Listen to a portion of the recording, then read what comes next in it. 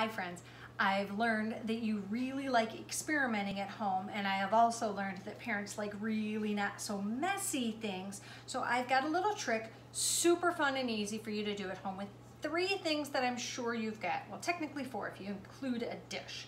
This is what you're gonna need. You're gonna need um, pepper, uh, the powdered pepper from your shaker like your salt, but not salt, pepper. I have a pepper mill, so I'm gonna have to twist it to grind it. You're also gonna need soap, which is probably right next to your kitchen sink like mine was. Hand soap will work, a bar of soap will even work. And then you're gonna need water in a plate. And I'm going to try that again. I'm just gonna get some ordinary tap water from my sink and put it back on my plate so you can see it. Um, room temperature water is fine. And then you're gonna need a dish. So a bowl works really well, baking dish, anything. I like to use things that are white because it's gonna show the best. So crack enough pepper or shake enough pepper and give it a look. What do you notice? I'm noticing lots of flakes and it's really hard to see online, but it, I promise, if you try it out, it will work. It's gonna float on the top because it's really fine and thin um, and we've got all that surface tension. And we talk lots about why it's important to wash our hands. Well, when you use soap, this is what happens to the things on your hands, like germs, dirt, and other things too. So all you need is one drop of soap. And you put it anywhere in the dish, but I like to put it in the middle. And then you watch. And that's all there is to this experiment. If you can see my pepper flakes floating, you'll see what happens next. Now there's a second part to this. I'm gonna try it out and I'm gonna try and splice it together.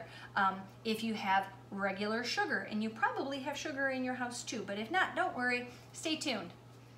Welcome back friends and thanks for staying with me. I had to go around my kitchen to find my sugar because we've been making cookies and things that use sugar. Sugar is one of those sometimes sweets that we use for cookies. We don't need it to grow big and strong like we do our milk and our vegetables and fruits and all that other good stuff. So I'm just using generic sugar that I found at the local grocery store. Any brand will do. I washed my hands because I'm going to be putting it into something that I plan to eat later too.